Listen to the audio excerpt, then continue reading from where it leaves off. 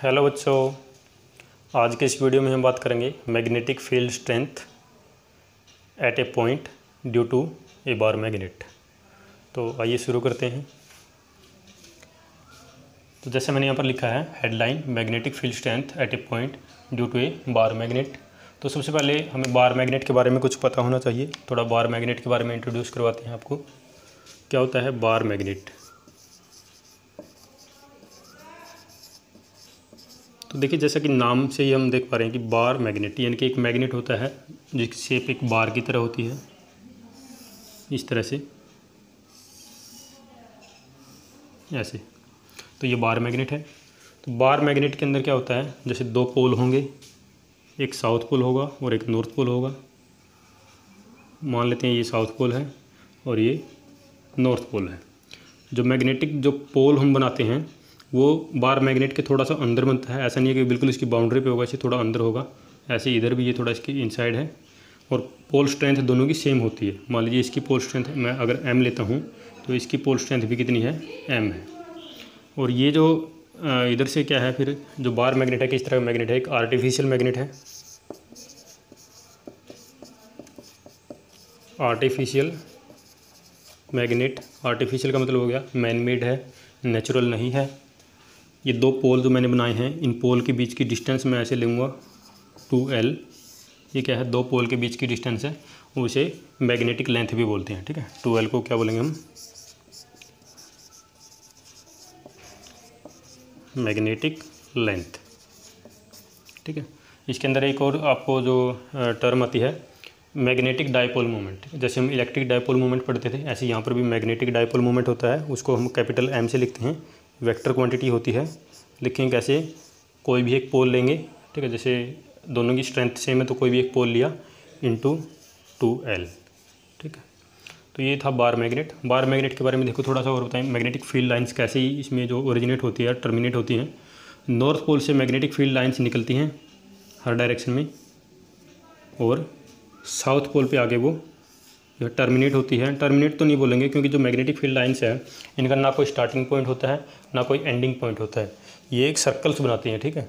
यानी कि यहाँ से क्या होगा? नॉर्थ पोल में क्या होगा? यहाँ से नॉर्थ पोल से जैसे फ़ील्ड ऐसे जा रही है और साउथ पोल में आके ऐसे एंटर कर रही है। नॉर्थ पोल से जो है हमें लगेगा कि जैसे नॉर्थ पोल से फ़ील्ड लीव कर रही है साउथ पोल में एंटर कर रही है और इनसाइड द बार मैग्नेट या फिर इनसाइड द मैग्नेटिक वो डायरेक्शन कैसे होगी? उनकी साउथ से नॉर्थ ऐसे हो जाएगी, ठीक है? और बाहर उनकी डायरेक्शन कैसे होगी? फ़ील्ड की नॉर्थ से साउथ, ठीक है? तो ये हमें यहाँ पर ध्यान रखना है, ठीक है? तो अभी देखिए शुरू करते हैं। सबसे पहले देखिए, मैं यहाँ पर लिखा है कि magnetic field strength at a point. तो सबसे पहले तो मैं बता दूँ फ़ील्ड स्ट्रेंथ क्या होती है। जैसे कि मैंने ये डेफिनेशन लिखी है the strength of magnet magnetic field at any point उसको हम कैसे डिफाइन करेंगे? Is defined as the force experience by a hypothetical unit pole अभी मैंने इसको अंडरलाइन किया है हाइपोथेटिकल यूनिट पोल को। उसके बारे में बताएँगे हमने हाइपोथेटिकल क्यों लिखा है यहाँ पर।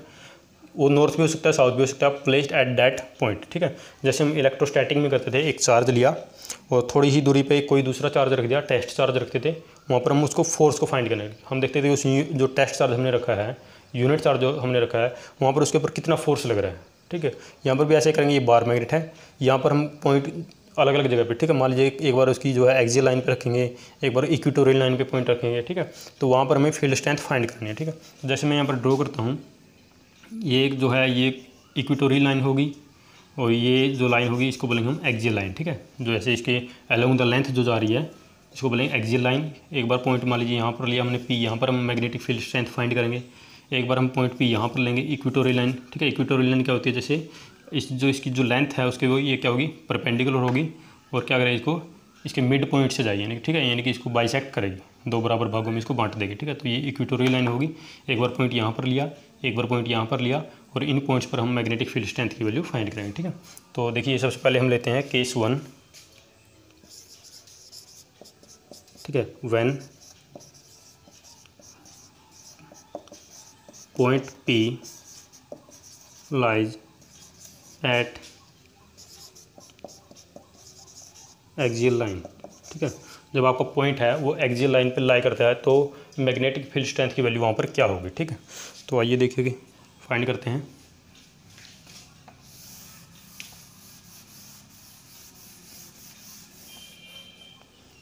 किस तरह से फाइंड करेंगे, देखिए। ये एक बार मैग्नेट ऐसे मैं बना देता हूँ। ये कोई बार मैग्नेट है। ये उसके अंदर दो पोल हैं, एक नॉर्थ पोल एक साउथ पोल ये नॉर्थ पोल है, मान लीजिए। चलो बाहर लिख दें इसको। ठीक है? और देखो मैग्नेट के अंदर एक चीज़ और आपको ध्यान में रखनी है। कोई भी मैग्नेट हो, ठीक है? आप उस मैग्नेट को कितना ही छोटे छोटे पार्टिकल में आप डिवाइड कर लो, यानी कोई बहुत बड़ा मैग्नेट है, आप उसके दो टुकड़े कर दो, चार कर दो, सौ कर दो, हज़ार कर दो, चाहे लाख कर दो, ठीक है? कितना भी उसको स्मॉल कर लो, कितना भी उसको छोटे से छोटे टुकड़ों में डिवाइड कर लो, उसके अंदर हमेशा दो पोल रहेंगे नॉर्थ पोल और साउथ पोल मोनोपोल कभी भी एग्जिस्ट नहीं करेगा, ठीक है? बताएँगे यहाँ पर, जैसे इसलिए मैंने यहाँ पर हाइपोथेटिकल लिखा है, ठीक है? तो लिख देते हैं, चलो यहाँ पर monopole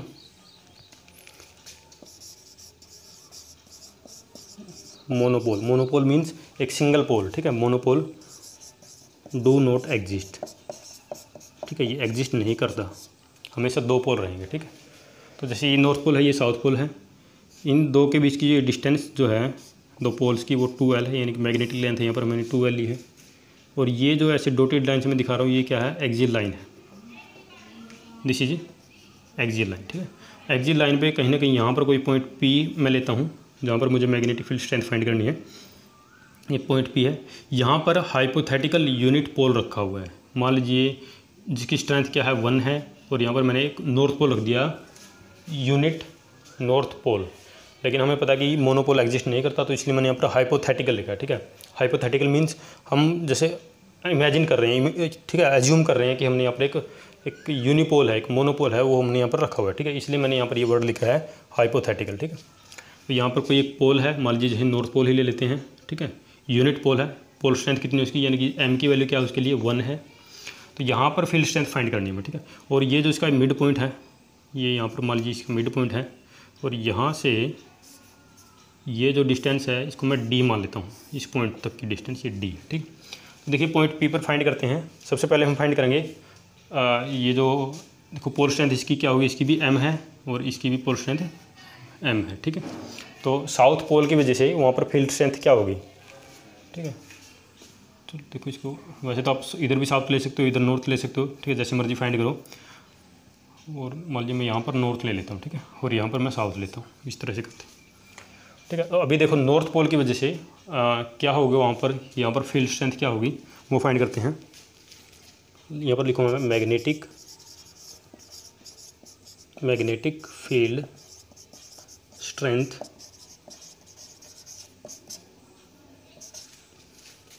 due to north pole ठीक है? नॉर्थ पोल की वजह से वहाँ पर क्या होगा? मैग्नेटिक फ़ील्ड स्ट्रेंथ की वैल्यू तो देखो, उसको मैं मान लेता हूँ, उसको मैं लिखता हूँ बी से, ठीक है? तो बी से लिखेंगे इसको क्या होगा? Mu naught upon four pi ठीक है? ये फॉर्मूला होता है mu naught upon four pi और देखो, यहाँ पर नॉर्थ जो पोल है, उसकी पोल स्ट्रेंथ क्या है? एम है इन टू यहाँ पर पी पॉइंट पर जो मैंने मोनोपोल लिया है, उसकी स्ट्रेंथ क्या है? वन ली है, ठीक है? उसको लिखूँगा वन डिवाइडेड बाई सेपरेशन कितनी है देखो। यहाँ से लेके यहाँ तक, ये सेपरेशन ये पूरी डी है तो डी में से एल माइनस कर दूँगा, ठीक है? ये एल है, ये पूरी डी है तो डी में से एल माइनस कर दूँगा डी माइनस एल ठीक है? तो ये होगी इसकी दोनों के बीच की सेपरेशन दो पोल के बीच की सेपरेशन होगी, और उसका करना हमें स्क्वेयर ठीक है? तो ये हमने बी फाइंड कर लिया डायरेक्शन क्या होगी इसकी? अलोंग अलोंग अब देखो, ये नॉर्थ पोल है और ये यहाँ पर भी एक नॉर्थ पोल रखा है। तो दो, जैसे आपको पता है like pole repel each other and unlike pole attract each other तो यहाँ पर क्या है लाइक पोल है तो क्या करेंगे रिपेल करेंगे, यानी कि इसके ऊपर जो फोर्स लगे वो अवे लगेगा ठीक है? ये नॉर्थ पोल से इसको दूर धकेले गए ठीक है? तो जैसे ये होगा, इसको मैं लिखूँगा अलोंग एन पी ठीक है? एन पी की तरफ़ होगा, ठीक है? तो ये मैंने बी फाइंड कर लिया यहाँ पर। ऐसे फिर साउथ पोल की वजह से फाइंड करूँगा। तो यहाँ पर लिखूँगा ड्यू टू साउथ पोल ठीक है? साउथ पोल की वजह से क्या लिखूँगा मैं इसको? बी डैश लिख लेता हूँ। Mu naught upon four pi ठीक है? साउथ पोल का जो पोल स्ट्रेंथ है वो एम है और उसकी जो है, हमने यहाँ पर जो मोनोपोल रखा है उसकी वन है। और देखो सेपरेशन कितनी है? डी तो ये है और एल ये जुड़ जाएगी इसमें, ठीक है? तो D plus L D plus L और इसका करेंगे स्क्वेयर ठीक है? और ये हुआ एलोंग इस डायरेक्शन में देखो ये साउथ पोल है, इधर नॉर्थ पोल रखा है, ठीक है? तो ये क्या करेगा, इसको अट्रैक्ट करेगा तो ये होगा एलोम पी एस ठीक है? यानी कि इधर होगा, ठीक है? तो ये हमने जो है यहाँ पर अलग अलग पोल की वजह से फ़ील्ड स्ट्रेंथ फाइंड कर ली है। तो नेट फ़ील्ड क्या होगा? पॉइंट पी पर, ठीक है? तो नेट फ़ील्ड देखिए क्या होगा।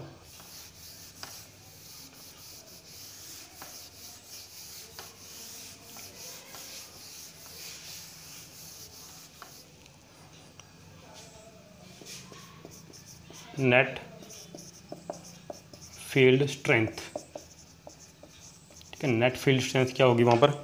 देखो वेक्टर सम करना पड़ेगा हमें, ठीक है? देखो पी पॉइंट पर एक तो बी देखो बी की डायरेक्शन तो ये है, इधर। ये तो है आपका बी और जो बी डैश है, उसकी डायरेक्शन ये ऐसे है। ये है बी डैश ठीक है? तो यहाँ पर जो नेट फ़ील्ड होगा, वो क्या होगा? दोनों का वेक्टर सम होगा। उसको मैं लिख लेता हूँ बी वन से, ठीक है? मान लीजिए उसको कैसे लिखता हूँ? बी वन से। तो बी वन क्या होगा? बी प्लस बी डैश होगा। लेकिन देखो, आपको पता है कि वेक्टर एडिशन के अंदर वेक्टर इस तरह से एडिशन किसका कर सकते हैं? जिनकी डायरेक्शन सेम हो। यहाँ पर डायरेक्शन सेम नहीं है तो इसलिए कैसे लिखूँ मैं इसको? B plus minus B dash ठीक है? यानी कि अब इसकी डायरेक्शन जो है, इसी डायरेक्शन में होगी, ठीक है? अब इसको ऐड कर सकते हैं। तो यहाँ पर देखो बी की वैल्यू क्या है? ये है, और बी डैश की वैल्यू ये है यहाँ पर, ठीक है? तो इसको लिखोगे बी की वैल्यू मैं लिख रहा हूँ इधर mu naught upon four pi M divided by D minus L whole square minus यहाँ पर होगा mu naught upon four pi M divided by D plus L और इसका होल स्केयर ठीक है? तो ये क्या हो? जाएगा फिर यहाँ पर देखो, जो कॉमन है उसको, जो ये, जो टर्म है दोनों में, ये तो सेम है जैसे, ठीक है? इसको कॉमन ले लेंगे तो ये हो जाएगा mu naught upon four pi M into क्या आएगा? देखो ये एल्शियम लेना पड़ेगा, ठीक है? डी माइनस एल का स्क्वायर डी प्लस एल का स्क्वेयर है, ठीक है? तो एल्शियम क्या आएगा इसका? ठीक है? ए माइनस बी इसका स्क्वेयर है और ये ए प्लस बी है, ठीक है? दोनों का स्क्वेयर है तो इकट्ठा लिख सकता हूँ तो फॉर्मूला लग जाएगा A minus B into A plus B क्या होता है? A square minus B square यानी कि D square minus L square और इसे पूरे का होल स्क्र ठीक है? तो इधर क्रॉस मल्टीप्लाई करेंगे, इधर ये आएगा डी प्लस एल का स्क्वेयर और उधर, देखो इधर लिख रहा हूँ मैं डी प्लस एल पूरे का square minus D minus L इस पूरे का स्क्वेयर ठीक है? तो ये क्या आएगा फिर रिज़ल्ट आपका?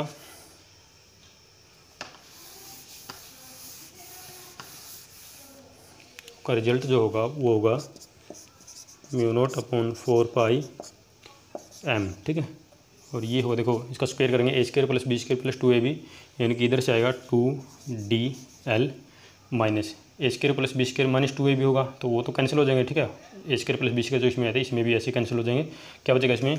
माइनस टू डी एल और बाहर माइनस तो प्लस का टू डी एल यानी कि कितना जाएगा? Four times four D L और डिवाइड में है D square minus L square और इस पूरे का होल स्क्वेयर ठीक है? तो ये आ गया आपके पास बी वन ठीक है? नेट जो फ़ील्ड आया ठीक है? डायरेक्शन किधर होगी इसकी? एलोंग एन पी ठीक है? क्योंकि ये जो फोर्स है, ये डोमिनेट कर रहा है तो अलोंग एन पी ठीक है? तो ये तो हमने फाइंड कर लिया है एक्जी लाइन पे। अब हम फाइंड करेंगे इक्विटोरियल लाइन पे, ठीक है? देखिए इक्विटोरियल लाइन पे क्या होगा?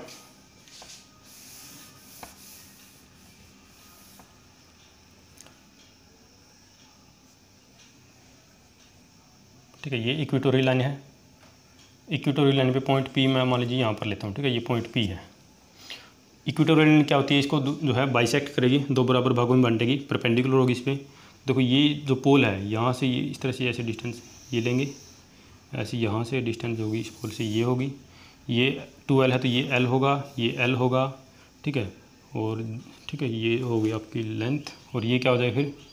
इसको अगर मैं मान लेता हूँ डी ठीक है? यहाँ से पी से ये ओ है तो ओ पी की जो लेंथ है उसको मैं मान लेता हूँ डी तो ये लेंथ क्या हो जाएगी भाई? पाइथागोरस थ्योरम से D square plus L square इसका स्क्वेयर रूट ऐसे ही ये हो जाएगी, ठीक है?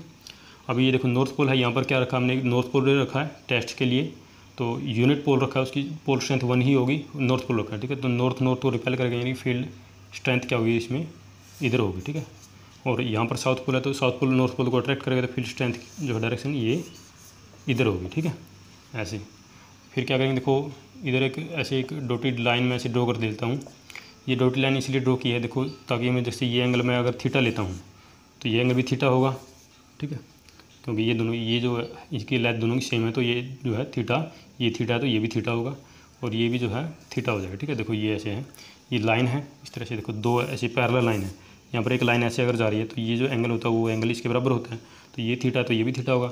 ये थीटा है तो ये भी थीटा कैसे होगा? देखो ये लाइन इस लाइन देखो ऐसे है, ऐसे दो पैरल लाइन है, ठीक है? तो ये लाइन ऐसे है तो जितना एंगल ये यहाँ पर बन रहा है, ऐसे थीटा ठीक है? ये एक पैरल लाइन है, यहाँ पर थीटा बना रही है, वहाँ पर भी सेम लाइन है पैरल ठीक है? तो ये जो एंगल होगा, ये भी थीटा ही होगा, ठीक है? तो ये थीटा है तो ये भी एंगल आपका थीटा होगा, ठीक है? तो अब फाइंड कर लेते हैं यहाँ पर बी की वैल्यू मैग्नेटिक फ़ील्ड स्ट्रेंथ की वैल्यू देखिए क्या होगी मैग्नेटिक फ़ील्ड स्ट्रेंथ की value due to north pole क्या होगी? लिखते हैं यहाँ पर due to due to north pole ठीक है? नॉर्थ पोल की वजह से क्या होगी? देखो नॉर्थ पोल की वजह से लिखते हैं, वही फॉर्मूला लगे यहाँ पर भी, उसको मैं लिख लेता हूँ, मान लीजिए मैं लिखता हूँ बी से, ठीक है? ये मैं लिख, इसको लिखता हूँ बी से।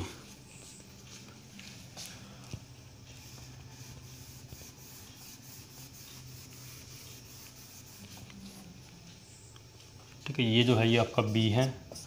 इसको मान लेते हैं हम बी डैश ठीक है? तो बी क्या होगा? बी जो होगा, वो होगा आपका mu naught upon four pi pole strength M है और इसकी पोल स्ट्रेंथ वन है, लिखने की ज़रूरत नहीं है डिवाइड में आ जाएगी separation D square plus L square और इसको पूरे का स्क्वेयर करेंगे तो स्क्वेयर रूट कैंसिल हो जाएगा, ठीक है? डायरेक्शन क्या होगी? एलोंग एन पी ठीक है? ये पॉइंट पी है तो एलोंग एन पी होगी। फिर लिखेंगे due to south pole south pole की वजह से क्या होगी? उसको मैंने लिखा बी डैश से, वो हो जाएगा आपका mu naught upon four pi M divided by separation कितनी है इसमें? सेम ही है, देखो D square plus L square square root है। स्केयर करेंगे तो क्या होगा? D square plus L square बच जाएगा, ठीक है? स्केयर रूट कैंसिल हो जाएगा। डायरेक्शन क्या होगी? एलोंग पी एस ठीक है? अब देखो, ये बी इधर है बी डैश इधर है। तो रिजल्टेंट चाहिए मुझे। नेट फ़ील्ड क्या होगी? Net field net magnetic field strength net magnetic field strength at point P at point P net क्या होगी? उसको मैं लिखता हूँ, मान लीजिए बी टू से लिखूँगा। वो क्या होगी देखो? अभी इधर देखो बी तो इधर है और बी डैश इधर है। तो मुझे रिजल्टेंट चाहिए। रिजल्टेंट मान लीजिए ये इस डायरेक्शन में आएगा, ठीक है? एक्स देखो, इसका मैं कंपोनेंट लूँगा। एक लाइन डोटेड लाइन ऐसे ड्रो लेता हूँ, ऊपर ऐसे, ठीक है? देखो, अगर मैं इसका कंपोनेंट इधर लेता हूँ, ठीक है? बी का कंपोनेंट इधर आ जाएगा। बी साइन थीटा और बी डैश जो है, इसका कंपोनेंट इधर क्या आएगा? बी डैश साइन थीटा ठीक है? दोनों का मैग्नीट्यूड सेम होगा, लेकिन डायरेक्शन बिल्कुल अपोजिट है। एक की डायरेक्शन ऊपर, एक की डायरेक्शन नीचे। तो नेट जो फ़ील्ड होगा इस डायरेक्शन में, ठीक है? वो क्या हो जाएगा? ज़ीरो हो जाएगा, ठीक है? वो तो क्या हो जाएगा? ज़ीरो हो जाएगा। कौन सा कंपोनेंट बचेगा इसका? देखो, ये बी है। इसका कंपोनेंट इधर लूँगा पी एक्स की डायरेक्शन में। देखो, ये ये क्या होगा? बी कोस थीटा इसका कंपोनेंट इधर लूँगा वो क्या हो जाएगा? बी डैश कोस थीटा दोनों की डायरेक्शन सेम है तो वो ऐड हो जाएगा, ठीक है? वो ज़ीरो नहीं होगा। देखो बी टू क्या होगा? बी टू की डायरेक्शन हमारी ये होगी बी टू ठीक है? तो क्या होगा देखो? उसको लिखते हैं बी टू को। It will be B cos theta ठीक है? Plus B dash cos theta ठीक है? B cos theta plus B dash cos theta ठीक है? और देखो बी और बी डैश का मैग्नीट्यूड सेम आया है। यहाँ पर देखो, इसका और इसका दोनों का मैग्नीट्यूड सेम है तो मैं इसको लिख सकता हूँ। टू बी कोस थीटा ठीक है? Two B cos theta along direction क्या होगी इसकी? एलोंग पी एक्स ठीक है? एलोंग पी एक्स ठीक है? डोमिनेट कौन सा फैक्टर करेगा? बी कोस थीटा ठीक है? अच्छा यहाँ पर एक मिनट कोई डोमिनेट नहीं करेगा, ठीक है? मैग्नीट्यूड सेम ही आया दोनों का। तो दोनों का मैग्नीट्यूड सेम है तो इस, जो इधर जो कंपोनेंट आएगा, वो कंपोनेंट भी दोनों के सेम ही होंगे, ठीक है? जस्ट वो ऐड हो जाएँगे, ठीक है? डायरेक्शन उसकी पी एक्स होगी, ठीक है? तो देखो ऐड करते हैं, लिखते हैं इसको बी टू क्या होगा? देखो B two will be two times B की वैल्यू क्या है हमारी? Mu naught upon four pi M divide by D square plus L square D square plus L square ठीक है? तो ये टू टाइम्स हो गया बी की वैल्यू उधर से मैंने लिख ली है। Into cos theta cos theta geometry से फाइंड कर लेंगे, ठीक है? देखो, ये जोमेट्री है। कोस थीटा फाइंड करना है तो देखो थीटा के सामने वाली लाइन परपेंडिकुलर होती है और ये नीचे जो है, जिसके साथ थीटा बना, वो बेस है, ठीक है? तो कोस थीटा क्या होता है? इधर लिखते हैं, देखो कोस थीटा कोस थीटा जो होता है, वो होता है बेस अपॉन हाइपोटेनिस ठीक है? तो बेस एल है हाइपोटेनिस क्या है इसमें? D square plus L square उसका स्क्वेयर रूट यानी कि यहाँ पर लिखूँ मैं कोस थीटा की जगह लिखूँगा। हाँ कोस थीटा की जगह लिखना मुझे बेस एल है तो L divided by D square plus L square D square plus L square इसका स्केयर रूट, ठीक है? तो इसको क्या लिखेंगे फिर यहाँ पर देखो? Two mu naught four pi M divided by ठीक है? D square plus L square power add हो जाएगी। देखो, बेस सेम है, ठीक है? D square plus L square ये ये भी है, ठीक है? इसकी पावर वन, इसकी power one by two, add करेंगे तो कितना हो जाएगा थ्री बाई टू, ठीक है? और इधर क्या आएगा एक? एल है, ठीक है? ऊपर, ठीक? तो अभी देखो इसमें हम इसको एक तो ठीक है, ये हमने लिख लिया बी टू की, और उसको लिखेंगे एलोंग किधर होगा ये? एलोंग पी एक्स ठीक है? हम इसको ऐसे लिख सकते हैं। लेकिन अभी मैंने एक बिल्कुल स्टार्टिंग में वीडियो की स्टार्टिंग में बताया आपको मैग्नेटिक डाइपोल मूवमेंट के बारे में, ठीक है? मैग्नेटिक डाइपोल मूवमेंट को हम कैसे लिखते हैं? एम से, ठीक है? वेक्टर क्वांटिटी होती है एम से लिखते हैं। क्या होता है ये? एम इंटू टू एल ठीक है? इस तरह से लिखते हैं। तो यहाँ पर हम रिप्लेस कर सकते हैं इसको, देखो। ये एम है, और ये टू इंटू एल ठीक है? एम टू एल की जगह क्या लिख सकता हूँ मैं, कैपिटल एम लिख सकता हूँ, ठीक है? यानी कि मैं चाहूँ तो यहाँ पर इस तरह से इसकी जगह एक यहाँ पर कैपिटल एम लिख सकता हूँ, इस तरह, ठीक है? और ऐसे जो मैंने वहाँ पर आपका बी वन जो फाइंड किया था, देखो, ये बी वन था, यहाँ पर भी हम उसको रिप्लेस कर सकते हैं, इसको देखो। ये फोर डी एल है तो इसमें से क्या करूँगा two D L into M की जगह क्या लिख दूँगा, कैपिटल एम लिख दूँगा तो क्या बचेगा इसमें? यहाँ पर बचेगा, देखो टू एल इंटू एम की जगह एक तो कैपिटल एम लिखा और एक बचेगा इसमें टू, ठीक है? और एक साथ में डी भी बचेगा, ठीक है? ये आएगा, ठीक? तो ये बी वन हो गया, ये बी टू हो गया, ठीक है? इसमें एक केस और हम ये जो इसमें ऐड कर सकते हैं, ठीक है? एक कंडीशन लगा सकते हैं कि अगर ये जो मैग्नेट हमने जो लिया है बार मैग्नेट, अगर ये बहुत छोटा है, यानी कि मैग्नेटिक लेंथ ट्वेल्व जो बहुत छोटी है, ठीक है? अगर मैग्नेटिक लेंथ छोटी है, यानी कि एल बहुत छोटी है डी से, ठीक है? कंडीशन क्या लगा सकते हैं? देखो यहाँ पर।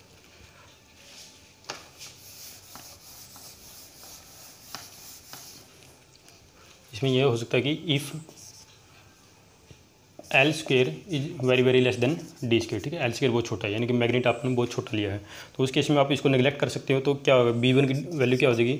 बी वन जो होगा, वो हो जाएगा आपका mu naught upon four pi two M D और नीचे ये होगा, देखो, ये तो कैंसिल हो जाएगा, ये डी स्क्र और पूरे का स्क्र डी की पावर फोर डी से डी कैंसिल ये हो जाएगा mu naught upon four pi two M upon D cube ठीक है? और ऐसे बी टू को रिप्लेस कर सकते हैं। बी टू क्या हो जाएगा? जब ये कंडीशन लगाएँगे बी टू में तो ये देखो, ये एल बहुत छोटा है तो इसको निगलेक्ट कर देंगे mu naught upon four pi और यहाँ पर है एम डिवाइडेड बाई इसको निगलेक्ट करेंगे। बहुत छोटी क्वांटिटी है। डी स्केयर के अंदर ऐड करेंगे बहुत छोटी क्वांटिटी को तो ठीक है, उससे कोई फ़र्क नहीं पड़ेगा, ठीक है? एग्ज़ाम्पल वही है ना, जैसे एक लाख में हम एक ऐड करें, ठीक है? तो उससे कुछ खास फ़र्क नहीं पड़ता। तो जैसे, ऐसे ये बहुत छोटी क्वांटिटी है, यहाँ पर लिखेंगे इसको निगलेक्ट कर देंगे तो ये डी स्केयर इसकी power three by two D square की पावर थ्री बाई टू करेंगे तो क्या होगा? टू से टू कैंसिल यानी डी क्यू बचेगा, ठीक है? तो ये आ गया बी टू ठीक है? तो ये था आपका magnetic field strength at a point due to a bar magnet